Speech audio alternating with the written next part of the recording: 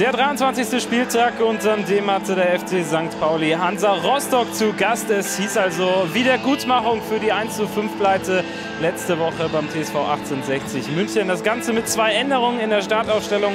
Eger kam für Morena und Sarko spielte wieder vorne in der Spitze für Hennings. Natürlich eine brisante Angelegenheit, das Nordderby gegen Hansa Rostock und es ging auch furios los. Das ist gerade einmal die zweite Minute und in der kommt Hansa Rostock und dann dieses Durcheinander im Strafraum. Irgendwie landet der Ball dann am Ende bei Münti und der machte sich so viel vorgenommen und er hier, Dieter Eils, für ihn hieß es ja, siegen oder fliegen. Er musste unbedingt die Partie gewinnen, ansonsten drohte der Rauswurf und seine Mannschaft spielte richtig stark. Fünfte Minute und das 2 zu 0. Finn Bartels liegt gerade mal drei Minuten nach dem 1 zu 0 auch den zweiten Treffer drauf. Wieder einmal stimmte die Zuordnung in der St. Pauli abwendig. Kann man die ersten zehn Minuten irgendwie erklären?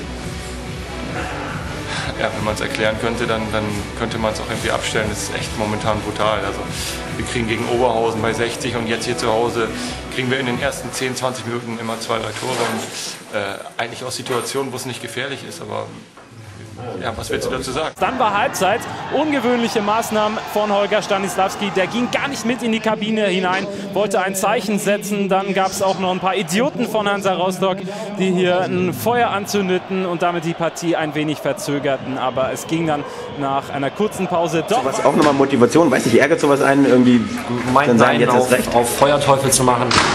Und das waren nochmal 5% mehr auf die 100 weiß ich nicht, wie viel wir eh schon haben. Und es ging furios los in Halbzeit 2. Foul an Brunnemann und der Schiedsrichter entscheidet auf Elfmeter das Ganze in der 52.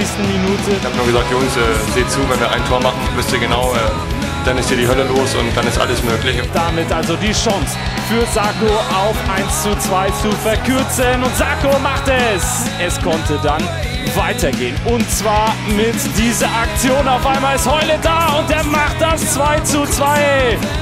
In der 70. Minute war die Partie also zumindest halbwegs gedreht.